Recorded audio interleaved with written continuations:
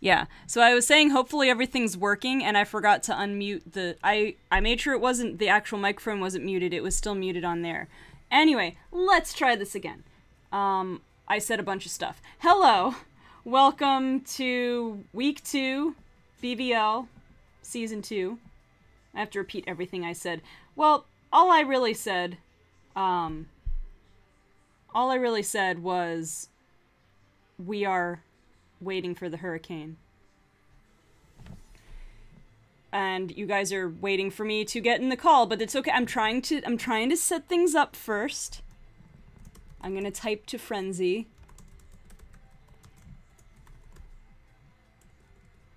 Where are you? Definitely not Frenzy. Okay. I'm just giving the little the lowdown here on the hurricane because it's been taking forever to get here. It was supposed to get here by tonight. Well, originally it was supposed to be here today. Now it's supposed to be tomorrow morning, I guess. So, um, unfortunately for the Bahamas, it's kind of stagnated over there. But the the interesting thing is it's moved very slow. It started over the Bahamas, over the Grand Bahama Island or whatever it's called, um, on one end of it, and it's at the other end of it now. And that that was that's over like I think 24 hours or so. It's not, uh, yeah, it's not going very fast the the interesting thing about it, which is what I was just about to talk about, they're saying that because obviously they were they were predicting that the hurricane's going to turn and it's just going to kind of scrape the east coast of Florida. So apparently the last thing I heard was because of the fact that it's stalled so much that they're hoping that that's an indicator that it's going to turn even more east. So that should put uh, even more buffer between the coast of Florida and the eye of the hurricane. That's the latest. I mean, we're still going to get hit with probably the outer bands, but the farther away it stays, the better. Anyway, that's the that's the current, that's the latest that we know. It's probably going to hit Georgia and the Carolinas as well.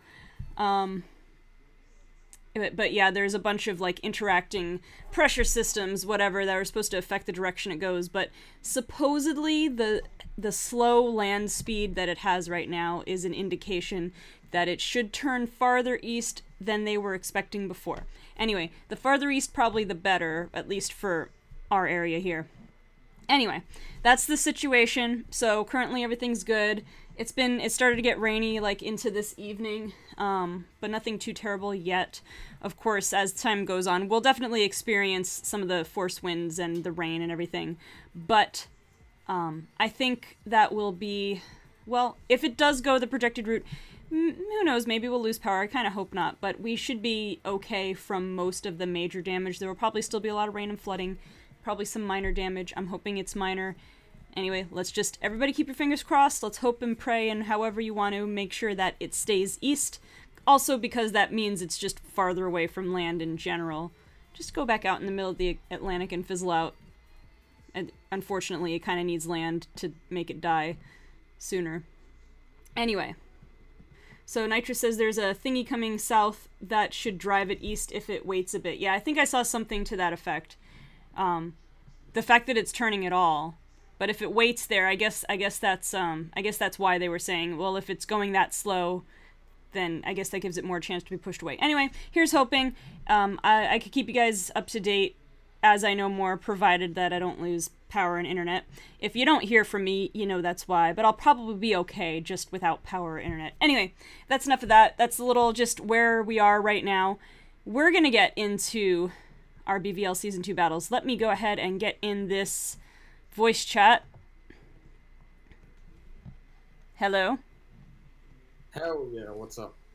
All right, so so we are in we're in voice chat now. And we're gonna just get right uh, started here with our first match. We have. Do I have these backwards? I do have these backwards. I never swapped the size, and I can't. I can't swap which side I'm watching. I don't think. Maybe once I get started. Let me do some quick live editing here.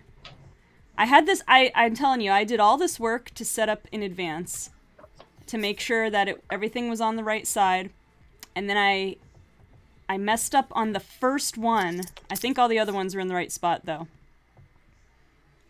Alright, now we're ready to go. I have my stats.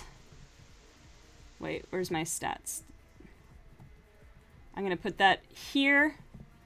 I'm gonna try to lower the, the unfortunately it's a big white spreadsheet, so I'm gonna try to lower the brightness so it doesn't completely flush out my face on the webcam. Um, Max Marsden, if you're referring to this league specifically, it's because I'm far more interested in in running this league and it's for my viewers and it's for, you know, they're going to win prizes and stuff. Um, I've participated in other leagues before, and in fact, um, not to spoil anything, because really I don't know, nothing is confirmed, but I may be getting back into that if the opportunity presents itself. Maybe, if the timing's right. Anyway, I got my stats up here. I'm going to try to update in, the re- in real time. Um, obviously, I have that Google Doc that keeps track of the team stats. I'm not going to be editing that one because I need uh, this window open. I'm going to edit it on my computer, and after the stream, I'll update it for you guys so you can check out everybody's stats. Before we press play on this match, um, let me update who we have on who each team brought today. So let's start with the it is the Massachusetts Mimikyus versus the Denver Darkrais if I if I forgot to say that before because I was too preoccupied with the logos being on the wrong side. So, let me find Massachusetts Mimikyus. Let's see, who do you have? We have. Wait, which one did I do? This. Wait. I have to copy whichever color this is. Scizor. Mimikyu and Stakataka. Wishiwashi, right down the line. Keldeo, and who else? Zoroark. Is that everybody? One, two, three, four, five, six. Alright.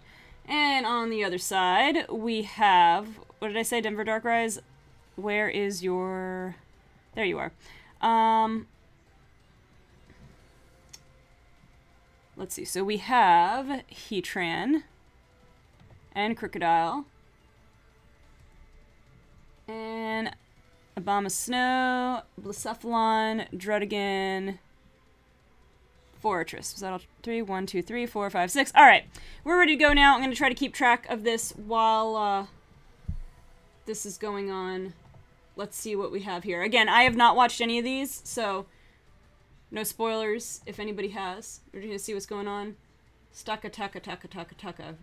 That Okay, so we got a burn right out the gate. It doesn't matter. The stone edge is still plenty.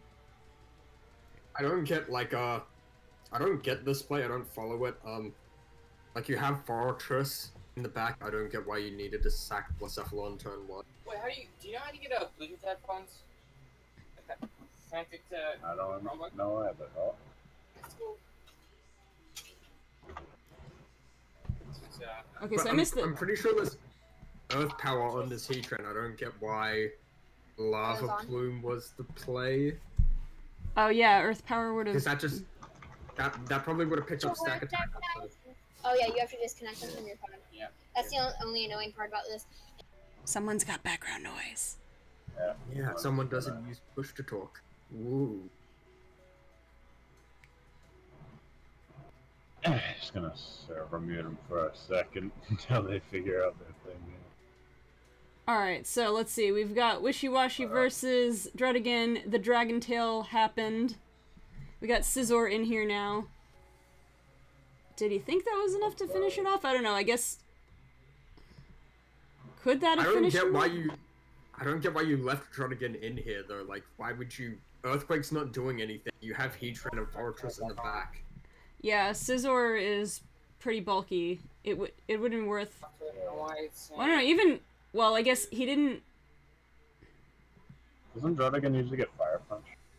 It does, but wasn't running at this game. Yeah. because I built the team. Uh, And but yeah, Earthquake's there so- to stack and then that was an odd switch with Krookodile. I, at first, I was expecting him to bring in Krookodile because he had Intimidate, but he didn't. So it wasn't even that. Yeah. He could have just brought in Heatran and then just like. Could've. lava flipped it. I don't get why he didn't. I don't know, man. Yeah, it seemed like a safe play there.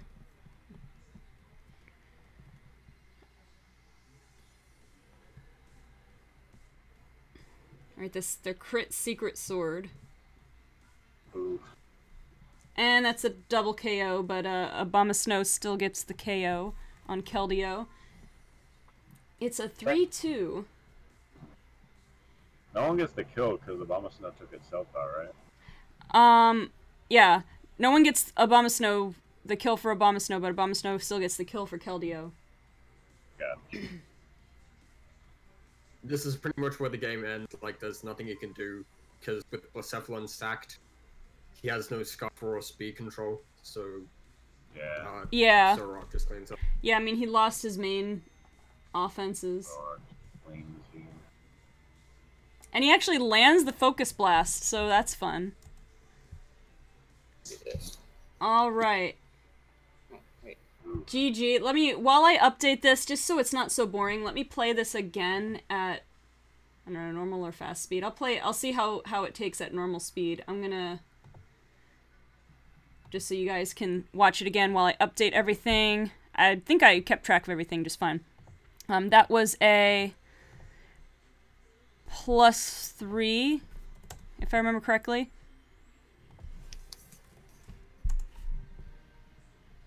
So we had two KOs for Scizor, for Massachusetts Mimikyus, one for Stakataka, and two for Zoroark. For Denver Darkrai, one KO for Heatran, one for Abomasnow, and one for Forretress. Which means both teams are now sitting at one and one.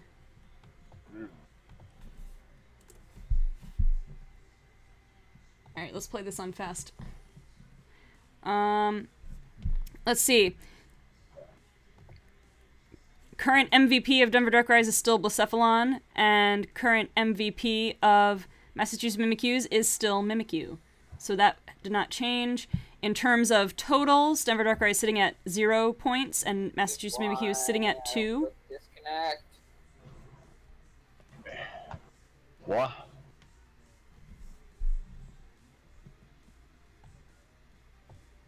Alright, so